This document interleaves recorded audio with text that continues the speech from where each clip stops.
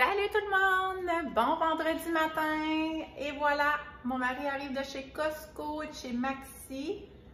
Ah, parce que maintenant, c'est une personne qui va faire l'épicerie. Alors, on respecte ce que M. Legault nous demande.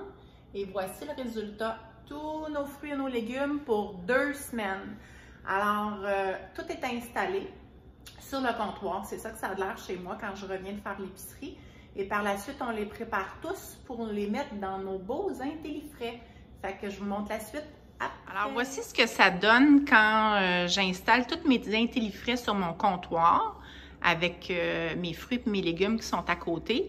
Vous voyez, j'ai déjà euh, mon plat salade, le gros verre ici, qui reste de la salade de deux semaines, qui est encore bonne. Je vais la trier, puis après ça, je vais l'installer dans un autre contenant plus petit, parce je vais l'installer mes six pommes à salade dans ce gros-là.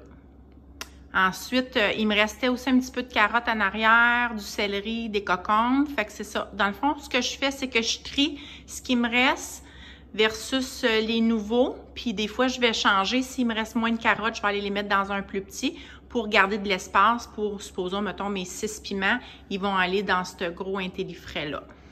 Alors, euh, c'est ça. Fait que je vous donne le résultat quand tout est terminé. Et voilà, c'est terminé. Tout est dans mes intellifrais.